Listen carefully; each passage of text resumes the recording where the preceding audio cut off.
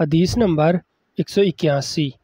हज़रत अबू मसूद रज़ी से रिवायत है, उन्होंने कहा, नबी करीम सल्लल्लाहु अलैहि वसल्लम ने हाथ से यमन की तरफ़ इशारा किया और फरमाया, देखो, ईमान इधर है और शकावत और संग दिली ऊँटों की, दुमों की जड़ों के पास चीखने वालों, रबिया और मुज़र में है, जिसकी तरफ़ से शैतान के दो सींग नमूदार होते हैं।